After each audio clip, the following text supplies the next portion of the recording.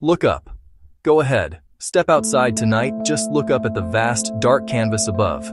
You might see the moon, a few planets, and a countless smattering of stars. If you're lucky, far from city lights, you might even glimpse the faint milky band of our own galaxy stretching across the heavens. It feels like you're seeing everything, a grand cosmic spectacle laid bare. But what if I told you that all of it, every star, every galaxy, every glowing nebula you can see with the most powerful telescopes, is just the froth on an immense invisible ocean? What if the universe we know is just a tiny fraction of what's really out there? So, what exactly is this dark matter? Let's get a clear definition on the table. In the simplest terms, dark matter is a form of matter that does not interact with light. Think about it. The reason you can see the chair across the room is because light from a lamp or the sun bounces off it. That light then travels into your eyes. The reason you can't see through a wall is because the wall absorbs that light. Dark matter does neither.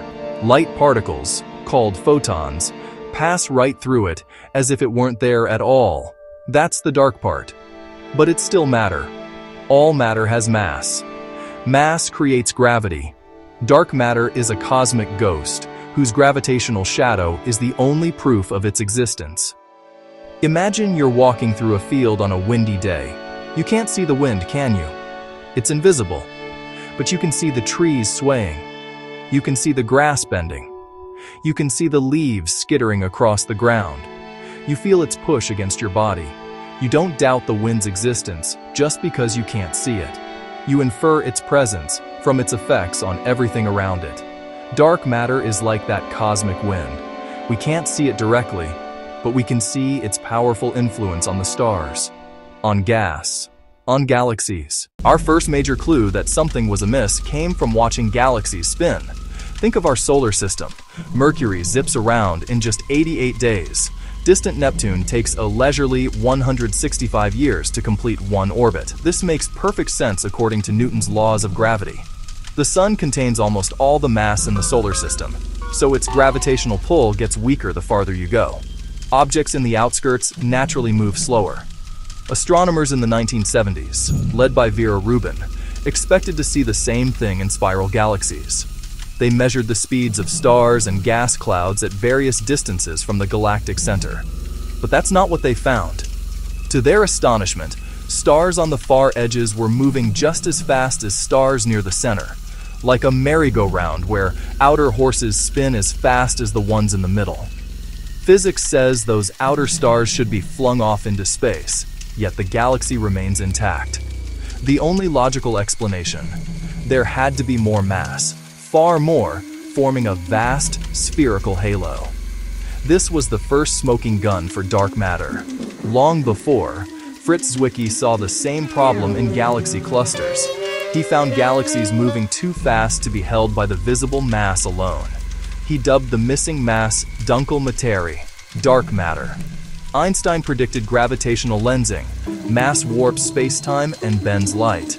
Cluster lenses stretch background galaxies into arcs and smeared multiples. By measuring the distortion, we audit the mass, and it exceeds stars and hot gas by a wide margin.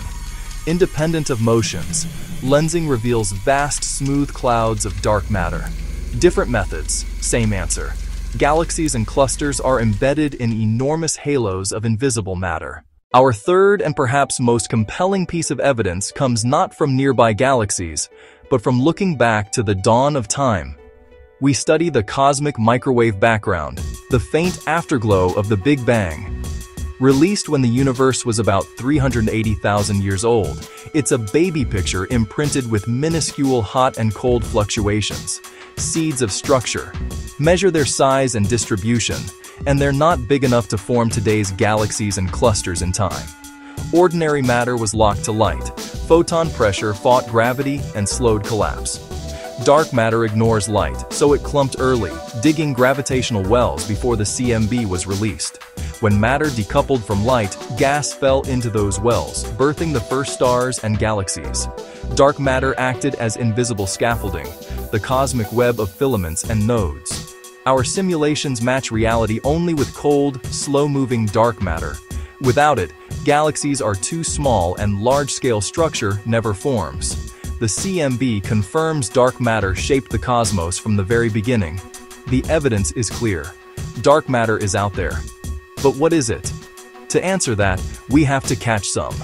Scientists are pursuing this mystery on three main fronts, direct detection, indirect detection, and production at colliders. Direct detection builds ultra-quiet detectors deep underground, often using super pure liquid xenon or argon at cryogenic temperatures. Billions of particles may pass through you each second. Almost all leave no trace. Very rarely, one might nudge a nucleus, creating a tiny flash or vibration that sensitive sensors can record.